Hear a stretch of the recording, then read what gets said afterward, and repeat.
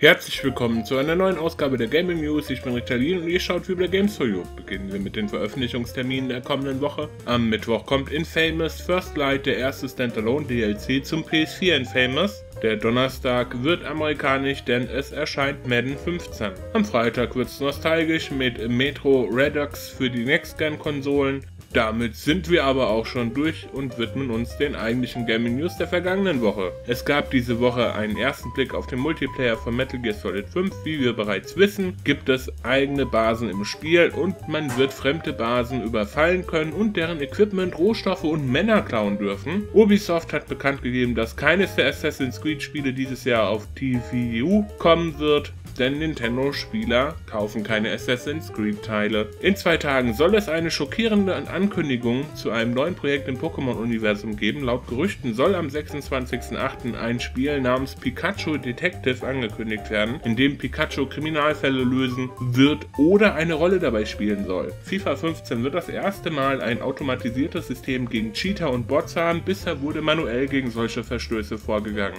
Damit kommen wir aber bereits zum Ende der heutigen Ausgabe. Ich bedanke mich für fürs Zusehen und sage ciao, ciao, bis zum nächsten Mal.